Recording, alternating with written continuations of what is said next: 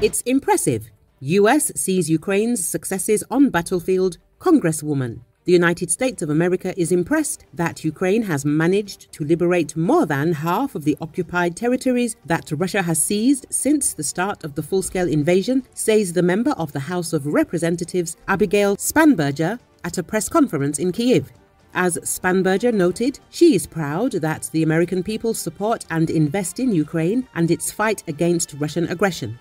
She is also looking forward to continuing this support. We have seen the successes of Ukraine as Ukraine has won back more than 50% of the land that Russia has taken since their invasion two years ago. This is impressive, said the Congresswoman. On February the 9th, a delegation of American congressmen, including both Democrats and Republicans, arrived in Kyiv.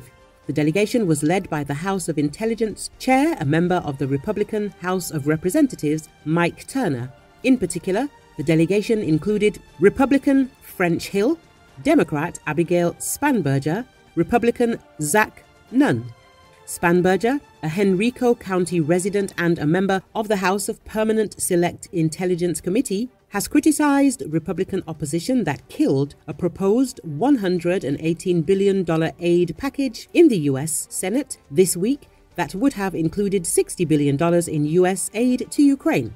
The Senate is now considering a $95 billion package in aid for Ukraine, Israel, Gaza, and priorities in the Indo Pacific region.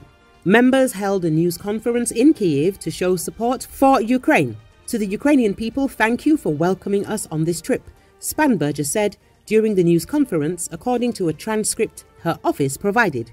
As my colleagues have stated, the purpose and the goal of this trip is to ensure that our Ukrainian partners recognize the commitment that the American people and certainly the American Congress will continue to have in supporting Ukraine in its fight for freedom